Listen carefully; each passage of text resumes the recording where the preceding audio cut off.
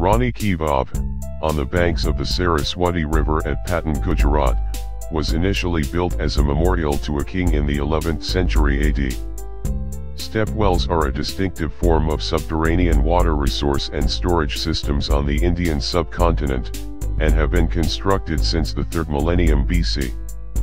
They evolved over time from what was basically a pit in sandy soil, towards elaborate multi-story works of art and architecture.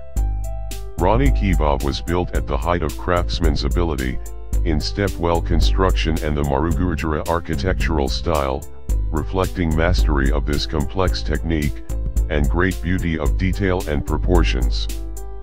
Designed as an inverted temple, highlighting the sanctity of water, it is divided into seven levels of stairs with sculptural panels of high artistic quality, more than 500 principal sculptures and over a thousand minor ones, combining religious, mythological and secular imagery, often referencing literary works.